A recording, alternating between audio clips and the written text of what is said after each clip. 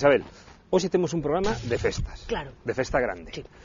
E, e como as festas non poden empezar sen pregón, o programa tampouco. Home, que non hai pregón sentista, non peta sin pregón. Por eso, cousa leva outra. Sí, sí, sí, por, por eso pensaba en ti, que tes un poquinho de experiencia como pregoeira, que vas repetir dentro de nada, a, a, a ver se nos botabas un cable. Bueno, mira, que me quedan algunhas asignaturas para acabar a carreira de pregoeira, pero vou non intentar. Venga. Controlubeanos e controlubeanas, é un placer para min un ano máis ser a pregoeira. Bueno, a primeira, por primeira vez neste ano, a pregoeira das festas de Controlube tanta, tanta emoción que non son quen de expresala con palabras, porque temos que celebralo todos e todas xuntas, as festas de Controlube, as festas donde faga falta, as festas de todas as vilas, galegas, e demais alí, e demais alá, colá, de todas partes.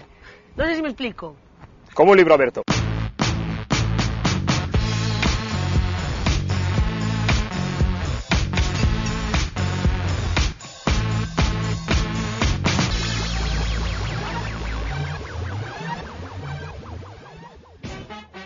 Domingo, 15 de agosto. Asunción de la Virgen, festividad de Nuestra Señora, o para sintetizar, la patrona. Lunes, 16, San Roque. En esos dos días se registra la mayor concentración de fiestas en toda Galicia, tanto que resulta prácticamente imposible contarlas todas. Dos de ellas han sido declaradas de interés turístico nacional. Una, el San Roque de Sada. será por la sardiñada en la playa. Gabriela Couto es la concejala encargada de la organización. A sardiñada foi unha tradición xa desde hai moitos anos, Sada está relacionado ca sardiña mm. e se un grupo de veciños eh, decidiron facer a, o que é a sardiñada e, bueno, é unha festa que está de, declarada de interés turístico nacional. Porque a sardiña, Boiloxe non hai que ir buscala, non? Non, non, a verdad que non, está, está ben cerca. Sada, bueno, sempre tuvo tradición de, de pescar moita sardiña e se decidiu facer esa festa e que veñen bueno, moita xente. Hai moita sí, sardiña sí, que 3000 kilos de sardiña te, temos para ese día. A, a kilo por persoa? bueno. no caso de Sada, vexo que o Concello, non? Sí, que eh? se encarga da, da organización. Sí. Aquí non, non hai unha comisión no, de festas? no, houve unhos anos que sí que houve, pero bueno, dun tempo esta parte o Concello quen, quen realiza todo, todo o programa de festas. Quizá os Concellos están asumindo o protagonismo e son os que levan o, o, o papel de, de celebrar as festas. É, é algo que lle toca ao Concello? Sí, a verdad sí. que sí. Entón, pensades que sí, que, que é labor municipal? Sí, sí, é unha labor importante, a parte que nos gusta. Ainda que, bueno, o presupuesto non é... Xa, podemos falar de canto presupuesto temos para as festas? Sobre unos 140.000 euros. E, sí, e, e iso que tal está? Bueno, é pouco, a verdad. Sí. Pero, bueno, digamos que en tempo de crisis eh, é o que hai. Por, porque ademais, eh, cando as festas son esas datas, eh, todo se encarece, non? Porque sí, sí. nesta fin de semana do 15 ao 16 en que toda Galicia están festas, por exemplo, as orquestas Pois as orquestas o, o día máis caro do ano é o 15 ou 16, son os días no que as orquestas son son máis caras. Pero, pero moito, sube moito. Bastante, sí. bastante. O 15 de agosto é sí, a, a, a festa día, central de Galicia. É o día grande de Galicia, o día onde máis pueblos teñen, teñen celebran a súa festividade, eso está claro, é así. E, eso, sí. eso porque que, que teñen San Roque ou Santa María que non teña, por exemplo, Santiago? Quizás sea porque agosto tamén é o mes típico de veraneo, de máis veraneantes. Ti imagínate que, que, que San Roque que é o patrón ou, ou Santa María, son os dous, non? Son os dous, sí. I, imagínate que fosen en outubro ou novembro. Que se mm. facía neses casos? Había que cambiar o calendario? Porque a mí, a mí me parece me sospeitoso que todos os patróns sesen sempre en verano. A verdade é unha cousa que habría que preguntar a historia, eu desde logo non o sei. Gracias. El San Roque de Sada y Control V compartimos pregonera. Isabel Risco, que lleva ya unos cuantos a sus espaldas y que tal vez nos dé las claves que debe tener todo pregón que se precie. ¿Es todo pregón é unha ciencia exacta ou como vai? Bueno, eh, eh, creo que bueno, hai fórmulas, hai fórmulas incluso matemáticas. Ah, sí? Sí, creo que sí. Pero hai que estudialas. Logo tamén é algo moi que ven de dentro, moito do espírito, moito das ganas que ti tes e da enerxía que lle poñas, creo eu. Así que é unha mistura de ciencias, de ciencias. Bueno, este ano tócache o pregón das festas de Sada. Xo dicilo, xa, xo dicilo, se me poño, xa me... Buah, nerviosísima. Eh, eh, e, e como levas? A ver, conta. Mal, moi mal, levo moi mal, porque... A ver, todos os pregóns son importantes e fundamentais, sí. desde logo. O que pasa é que cando tes implicación persoal, pero ademais unha implicación persoal importante e, e intensa, pois a cousa eh, fais un... Non que se complique un pouco máis, senón que...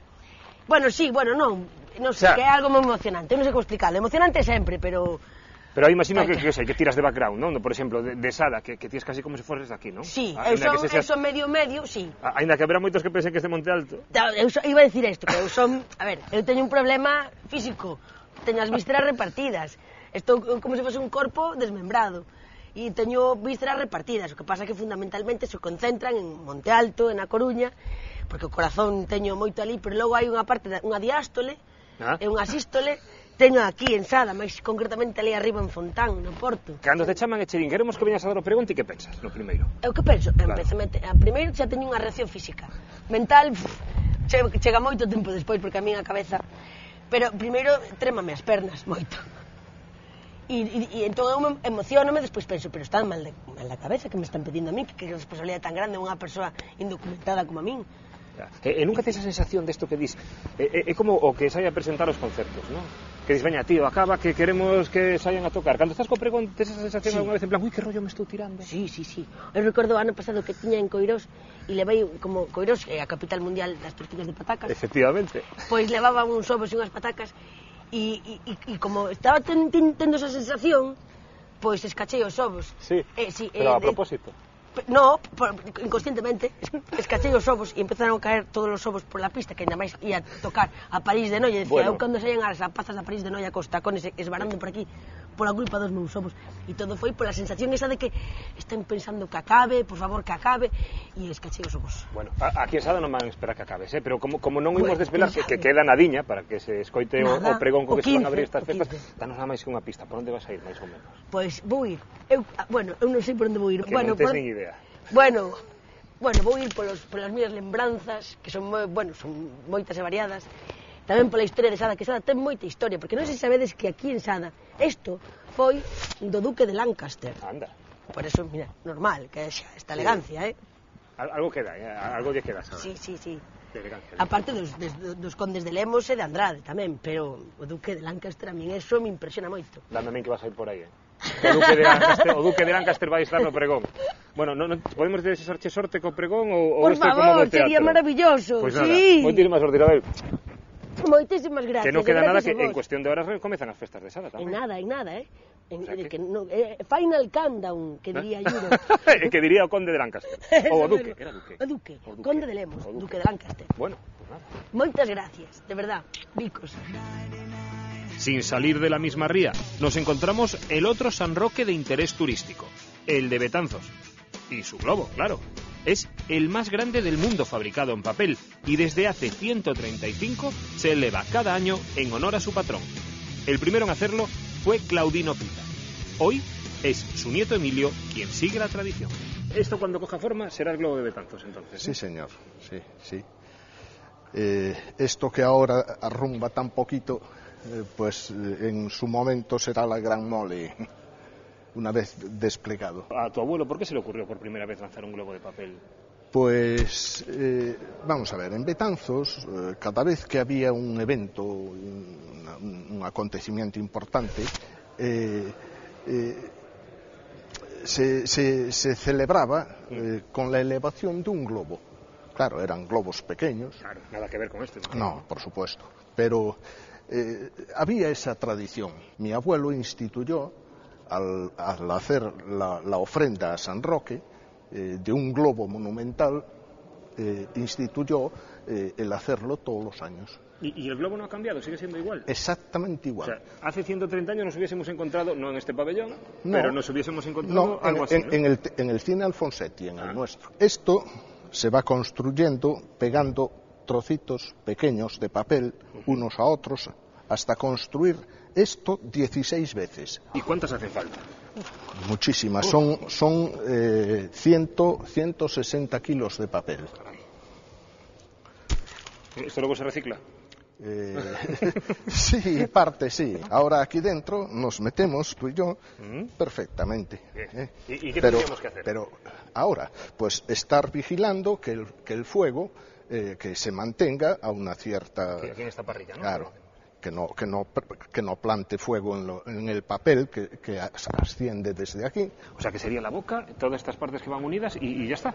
y ya está. Y ya está. Y ya está. Lo que es casi ya un deporte es saber dónde acaba el globo de Betanzos después, ¿no? que llegó más lejos, llegó a Buenos Aires. Lo enviamos al centro Betanzos de Buenos Aires y no dejaron siquiera desembalarlo, porque llevaba en aquella ocasión uno, uno de las viñetas, un chiste, era acerca del general Videla. Y eso era jugar con fuego, Eso- no, me refiero, no me refiero a meterse aquí y encenderlo. ¿eh? eso, eso era más fuego todavía. Y, y allá se pudrió. ¿Y pintar en el, en, el, en el globo se cotiza? ¿La gente quiere pintar en el globo? Pintar en el globo es un honor.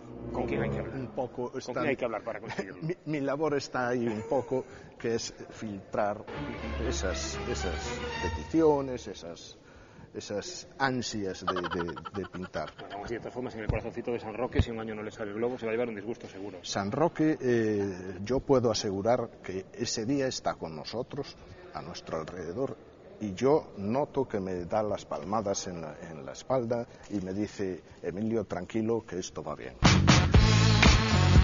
Ola, bos días, son Román Rodríguez ainda que poida parecer polas erres que me salen moi mal, eu non lle o rabo ao can de San Roque. Algo tiene que tener San Roque para provocar todo este torrente de devoción y festividad. Porque él, y no otro santo. Seguro que nos lo puede aclarar todo un experto en nuestras tradiciones, como es Felipe Sené. Anda, pero si hasta aquí también tienen un San Roque. Aunque, Felipe, a este le falta el perro. Sobre o Canciño de San Roque habería moitas historias. Había unha parroquia ali cerca da, eu son do Carballiño, como sabes ti moi ben, e ali o señor cura pois falta o, o canciño de, do San Roque por esas cousas, é tan delicado, que o neno chunleva, choleva, ou calquer cousa, e entón ao final acabaron poñéndolle un ratiño que había disecado. Ah, no? San Roque, como era meigo e mago, nesta Galiza nosa pois enca, encaixa perfectamente ben, porque é terra de, de magos. Era entón peregrino, a Compostela e Romeiro a Roma, non? Entonces era santo de, de camiños e ali onde iba, iba acompañado co seu can, que di que ese can pois lambéndolle as feridas que o curou dunha enfermedade. É santo que ao mesmo tempo pois permite que se faga feira e romería. Eu diría que son santos de encrucillada, de Carrefour, de donde hai vida, donde hai comercio. Carrefour non no, no na acepción de agora, non? No, é, é o Carrefour é encrucillada de claro. camiños, eh? quero dicir que o comercio nace nas encrucilladas, nace sí, no, comercio eh, no Carrefour, nos camiños, sí. e así naceron moitas vilas. Hai algunha vila, que ti seguro que o sabes, que teña o seu patrón fora do verán? E, e que bueno, celebre, eh, no, porque no, a sensación no, oye, é que todo o mundo celebra pero, durante o verán. Pero, oye, eso toda Galicia, estaba todo desestacionalizado. E que pasou? Todo fomos entrando, máis festas históricas, máis festas gastronómicas no mes de agosto, o sea que non desestacionalizamos. O que pasa que a nosa cultura eh, hai na que preparar en función en función de espacios. Está reclamando un festódromo. Eh, eh, eh estou eh, lugares pois cubertos para desestacionalizar precisamente. A min gusta eso de que os políticos teñen que pensar en espacios para festa, eh, para diversión, pero ademais deso, eh, eh, en que habería que traballar para que estas festas non perdan ese carácter que dis que corre perigo agora? Coñecer a nosa historia, conocer a nosa tradición, que son os recursos. E unha vez que temos esos recursos, que é o argumento, ver como é o escenario onde se representan moi terceiro mundista eh, esa das festas de San Xan. Ora, estéticamente, queda precioso, non? Ver as lumeiradas, ver a prehistoria eh, no século XXI, non? Pero eu creo que eso é peor que o prestixe a nivel ecolóxico, eh? No, o San Xoán, sí, o San Xoán na praia. O San Xoán na praia, a min pareceme unha aberración. Isto era nas campas, nos lugares abertos. Caray, con Felipe. Además, advierte de la botellonización de las fiestas y de que las costumbres están cambiando. Un ejemplo de esto último, Vila García. Aquí, hace casi tres décadas, nacía una de las celebraciones más recientes y espontáneas que existen en torno a San Roque. Esta é a capela de San Roque. Este é o barrio de San Roque. Aquí naceu, de alguna maneira, ese momento tan especial que agora chamamos a Festa da Auga. Porque eso como naceu. Eso naceu aproximadamente hai uns 30 anos, non chega aínda, pero está a punto. E foi precisamente cando, como cada ano na tradición, se subía desde a igrexa parroquial, que dista daqui aproximadamente un kilómetro, subíase a imaxen do santo a esta capela. Ao retornar desa subida, nun caluroso día de verán, alá eh, polos primeiros anos 80, eh, bueno, eh, alguén nestas rúas céntricas decidiu pedir auga Para combatir o calor. Para combatir a calor daquel día. E xenerosamente alguén desde un balcón decidiu ofrecerlle auga á xente que pedía. E a partir dese momento naceu desa forma tan simple esta festa que ahora é un dos referentes non só da imaxe local de Vila García ante o mundo, senón eu creo que de festas nacidas da espontaneidade máis absoluta. Non te localizado a, a aquela persoa que respostou a esa petición e que polo menos merecería, non, non sei se dedicarlle a festa toda a San Roque, pero poñerlle unha rúa ou unha praza, non? Sí, unha rúa, unha praza, probablemente un monumento. Eh, eu eh, defendo esa eh, concepción da festa da auga como unha festa que non ten dono que simplemente naceu porque tiña que nacer e porque eh, ademais hai pois, unha necesidade todas as anos de que entre toda esta marea humana teñamos un elemento de convivencia do máis natural. Eh. E sabemos canta xente ben, dicías con unhas 20.000 persoas, sí, pero 20, cantos 25. litros poden gastarse? Bueno, probablemente podamos falar de 40, 50.000 litros, parte dela aportada de forma espontánea, voluntaria por as persoas que residen en este entorno. Aí hai licencia para mollar e, eh, así o fan os veciños e veciñas que residen en os edificios destas rúas, uh -huh. que o fan xenerosamente, sin solicitarlle ao Concello que se lle reduzca a tasa de agua, senón que dentro das precios normales e sin ningún tipo de privilegio... Porque o Concello non se ocurriu ofrecerlo no, tampouco, non? Non, non, é certo, pues, eh, pero en calcar caso tamén teño que facer desde aquí un recoñecimento á xenerosidade desos veciños. Non só os veciños, senón que a participación de elementos como estes camións de bombeiros son importantes. Eu o lunes vou estar traballando, non vou poder vir.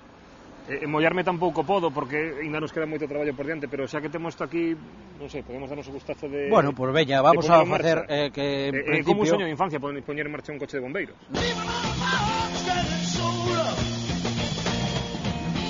Bueno, pues veña. Aí vai. Digo ben. Graciñas, José. Un, un concelleiro que se molla, ¿eh? Nuestro trabajo es tan duro que no nos deja tiempo para divertirnos, pero eso no quiere decir que no nos hayamos quedado con ganas compartir remojón con José. Tampoco estaría mal un chapuzón aquí, en Elumia, en la Carballeira de Caldas, donde se prepara otro San Roque.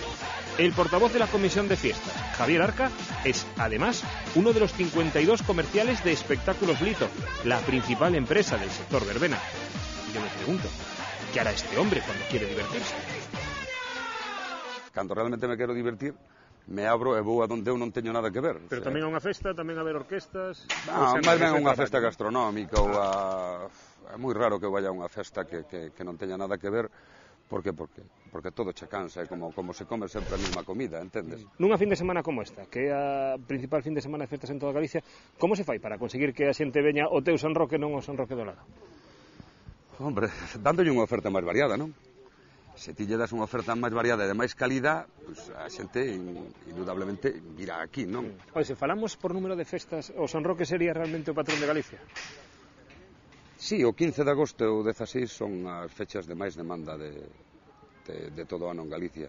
Non lle queda moi a, a zaga o Carmen. Cantas eh, festas patronais, cantas orquestas poden estar a traballar no 15, no 16 nestes días? Hai forma de contabilizar eso? Hombre, en Galicia a cifra mm, é superior ás 300 orquestas que estén traballando ese día en verbenas, o sea que se eso dividimos en que na maioría das verbenas van dúas agrupacións, como é o caso de Caldas, e noutras, eh, por zonas da, Coruña, Lugo, incluso algunha de vai unha agrupación, pois estaríamos falando a mellor de 200 ou 200 algo de verbenas. O que pase que veñen nestas fechas veñen orquestas da fora incluso. Tamén, sí. Claro, non, claro. non chega, non chega, hai que importar non, orquestas. Non damos, hai que importar orquestas nestas fechas. En Riba tamén está todo máis caro.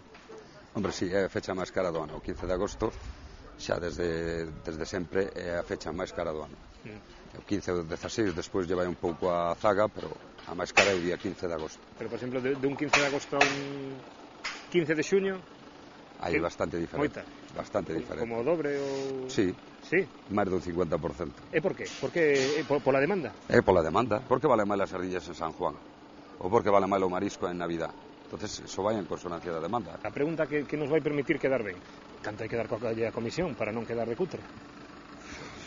Porque Hombre. o do ano pasado teñencho apuntado, non? Normalmente as comisións apuntas e ti chegas e dis o ano pasado diches tanto. Eh, sí, exactamente. O sea, a chuleta sempre a levamos con nos. E, e non vale decir este ano mesmo é o IPC, non? Mm, no, na maioría dos casos che din estamos pero con que o ano pasado che vamos a dar menos. Oye, telo que comprender. Cando vas a boda sempre che fan a coña esa de que o regalo polo menos ten que pagar o prato. Eu fun criticado aquí en Caldas por por poñer, por decir que cada veciño tiña que dar 30 euros. Entonces, houve algún periodista que puxo que era unha cuota Entonces, eso de cuota sona un pouco a imposición, non? Entonces pois, eh, sacamos o de que era unha referencia. É unha referencia para que cada un vaya pois, dando o que queira. Non é obligatorio dar esa referencia. Ahora temola en 40 euros por veciño e hai que nada, hai que anda máis e hai que anda menos. O sea, nos collemos todo o que nos vean. A ver, Graciña, deixamos porque creo que vas ter que resolver algo bueno, máis antes de que remate o día, non? Estamos con esto, estamos con esto, estamos tratando de ordenar isto. Ánimo. Veña. 40 euros. Supongo que para Caldas puede estar bien, pero ¿qué pasa cuando la parroquia que no renuncia a sus propias fiestas no llega al centenar de vecinos? ¿Qué tal? ¿Cómo estamos? Vamos? Muy bien. Deixanos acompañarte logo a ver como se recauda cartos para unha festa? Non hai problema ningún. Bueno, que, queda moito por xuntar ainda? Non, no, que me pertence a mí xa quedanme 4 ou 5, outros xa me trajeron a casa, outros xa expedín, andamos aí por aí xa tantealo, quedan tres días para a festa, e que te os pedidos, non? Hai que existirlles moito ou normalmente os veciños? No, no, tan, agora tan bastante máis. Sí. Agora, agora salen colaborar bastante. Pero que, dis agora porque antes non... No, había, antes había de todo, pero agora máis metendo xente toda da parroquia da comisión e vai sabendo o que é facer falta de cartos, non? Mm, e máis son os dous días máis caros do ano, claro. 14, 15, 16, que prácticamente 16 xa casi nunca facemos baile porque non non chego a gastar nada. Que tes, pero 14 ou 15 logo? 14 ou 15, sí, 14 ou 15. Porque, hai... porque aquí celebrase a... Eh, Nosa Señora, uh -huh. o San Roque tamén que é o 16. Os dous? Sí, fai pero, pero o San Roque faise sin... sin... sin, sin baile. Eh, estábamos pedindo aos veciños 100 euros por, por, por veciño, este ano subimos 120, ou algún mosqueo que outro, pero bueno, sí. concediu que o día 14 era o sábado, e representante de todos que viñan das orquestras de mire, este ano, por feito de ser sábado, unha orquestra que valía 9.000 euros, este ano vai valer 11 ou 12. Bueno, pues imos entón o, bueno, sí. o veciño. Empezamos moi cerca e non parece que vaya a ser complicado.